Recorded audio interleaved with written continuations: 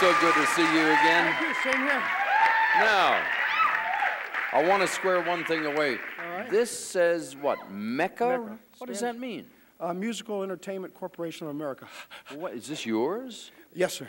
Uh, Now, I- I mean, you're a record maven, a, a big mogul now? well, on- on my way, thanks to CBS Records. Now, that's the part I want to explain.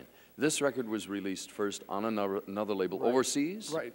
Well, no, it was, uh, I was signed with Epic here in the States and internationally. Because my breath. And they didn't want to release, the record was big over in Europe, three weeks number one in England, and they didn't want to release the record here in the States. So I said, well, how about if you give me back the single and the rights to it, and let me put it on my own uh, label and go for it. And they did? And they did. Somebody hold on to this for me so I don't. Hey, Jen, there's no record in it. Don't worry if it falls down. um, I'm just curious to know did you get discouraged at all after? I mean, it was number one in England, wasn't it?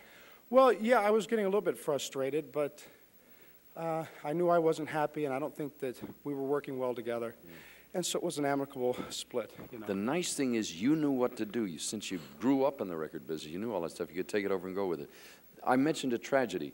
I didn't know that. I am so, I am so stupid, apologetic. You had a dreadful automobile accident. When yeah, was I, that? I kept it quiet. It was uh, January 15 of 82. Remember the date? Yeah, very much, What 5.30 happened? in the afternoon. What happened? A car hit me head on and uh, suffered a concussion and pinched the nerve to my right side. I was temporarily paralyzed on my right side for nine months. What went through your mind? God, everything.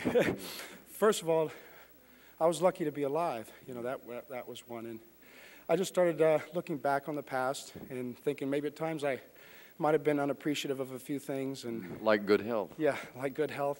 aren't we all? So uh, just uh, had time to think about what I was doing and which direction I wanted to go in and, and that sort of thing. Welcome back. Thank you, Good Dick. luck with my My case. KC, ladies and gentlemen.